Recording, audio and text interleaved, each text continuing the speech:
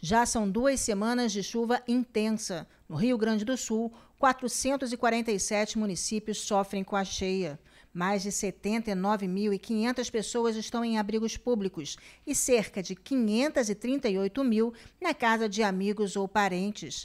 A Defesa Civil do Estado do Rio Grande do Sul contabiliza 806 pessoas feridas, 127 desaparecidas e 147 mortas. A ajuda humanitária segue de todos os estados brasileiros e até mesmo de outros países.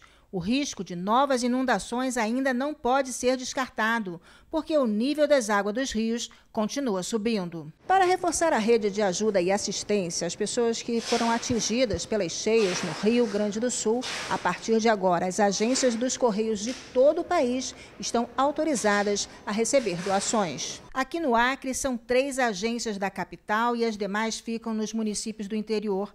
As doações já podem ser feitas e a prioridade é para água potável, alimentos da cesta básica, produtos de higiene pessoal, material de limpeza a seco, itens de cama e banho e ração para animais. A gente está aí nessa luta para transportar. Não vai haver custo nenhum para quem fizer a doação. É só chegar em uma das nossas agências, fazer a doação. O correio vai se encarregar de transportar através das nossa, da nossa rede logística até chegar na Defesa Civil do Rio Grande do Sul. Até a semana passada, os correios em todo o país já haviam transportado mais de mil toneladas de produtos para o Rio Grande do Sul.